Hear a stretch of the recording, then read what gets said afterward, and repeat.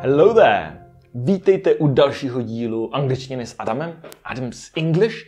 Dneska bych se chtěl podívat na takový pravidlo, který pravděpodobně znáte z kurzů angličtiny nebo ze školy, z hodin angličtiny a možná ho tak trošku ne úplně opravit, ale rozšířit. Řeč bude o tom, jak, když jsou věci krátké a když jsou věci dlouhé. Co tím myslím? V angličtině jsou vlastně u každého gramatického času nebo u celé řady gramatik vždycky dvě možnosti, jak to říct nebo napsat. Zkrácená a ta dlouhá. Eh, jednoduchý příklad je třeba představení se nebo říct já jsem Honza, tak řeknu I'm John, to, bude, to by bylo to kratší, I'm John, a nebo řeknu I am John. Jo, I'm John, I am John. A teď typicky se v těch kurzech nebo ve škole učí, že mezi tím není žádný rozdíl. A ona to není úplně pravda. Když se na to podíváme čistě z gramatického pohledu, tak mezi tím vlastně není rozdíl. Ale proč ty dvě verze teda existují? To mě vždycky vrtalo hlavou a nikdo mi to nechtěl říct. A hrozně mě to iritovalo. Samozřejmě existuje důvod, proč proč jsou ty dvě verze. Souvisí to s něčím, co jsme si řekli v jiném dílu, a to sice s tím, že angličtina je důrazový jazyk. V angličtině potřebujeme mít ten důraz, ten rozdíl, aby jsme si rozuměli, aby si lidi mezi sebou rozuměli. A tohle s tím velmi úzce souvisí.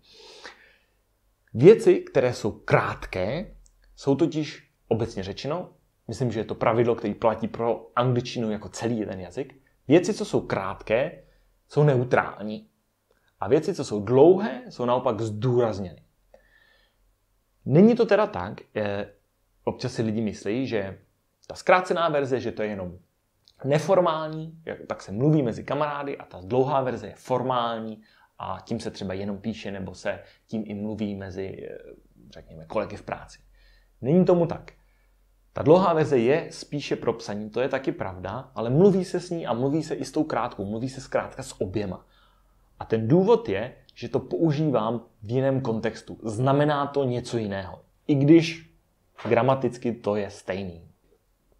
Takže, když mám větu zkrácenou, řekněme teda I'm John, a dlouhou větu I am John, jaký je mezi tím ten rozdíl?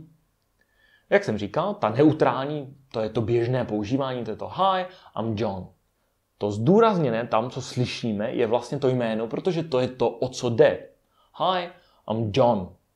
To je ta informace hlavní. Co když by ale někdo řekl, vy byste řekli Hi, I'm John a někdo vám na to řekne ne, ne, ne, ne, počkej, počkej, já myslel, že tamhle, tamhle ten je, je Honza, tamhle ten je John. V tom případě já pak zareaguju, no, no, no, no, I am John. Ve smyslu, počkej, tak ty mě jako nerozumíš? Já jsem John přece češtině říkáme občas něco podobného. Že? Já jsem John. A tohle je ten rozdíl mezi těma dvěma formama. Existuje to opravdu pro jakýkoliv čas v té angličtině a je to obecný pravidlo i pro angličtinu. Chcete-li něco zdůraznit, to znamená přivést tam pozornost, přivést tam ten smysl, tu informaci hlavní, kterou chcete komunikovat, natáhněte to, zdůrazněte to. Pokud to je neutrální, naučte se ty věci říkat zcuknutě. Jo? Když dám příklad z komplikovanějšího času, jenom trošku komplikovanějšího, budoucího jednoduchého, I will go to work. Tak nám Čechům to víc sedí, protože je to víc takový slabičný, jak jsme si řekli v tom jiném díle. I will go to work. Jo? Dá se to tak hezky rozsekat. Ale ten rodinný mluvčí spíš to zcukne, protože ta gramatika vlastně není to zásadní. On řekne místo I will, řekne I'll I'll go to work. Takže ta, ten hlavní point, ten hlavní message toho sdělení, že jdu, půjdu. No? I'll go to work. Ale když by tam byl zase ten problém s tím, že mi nevěříš, tak já ti řeknu, no, no, no, no, I will go to work. Doufám, že to dává smysl takto. Je to aplikovatelný zase na celou řadu dalších gramatických jevů, to se řekneme, když tak někdy příště. Jestli to dává smysl, dejte nám vědět. Doufám, že ano. Jestli ne, tak si taky postěžujte. Já to zkusím do příště napravit.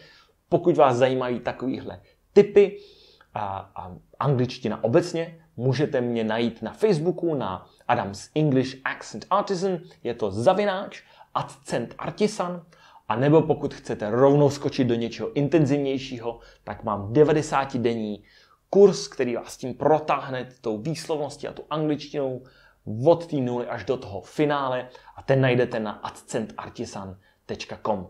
Jinak děkuji za pozornost, to bude pro dnešek všechno, zase příště, ahoj!